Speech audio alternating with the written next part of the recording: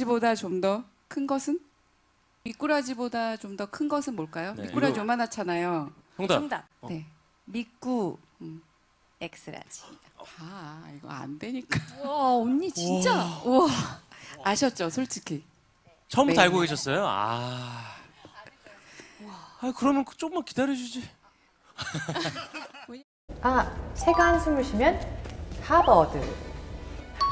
이 죽으면 다이빙.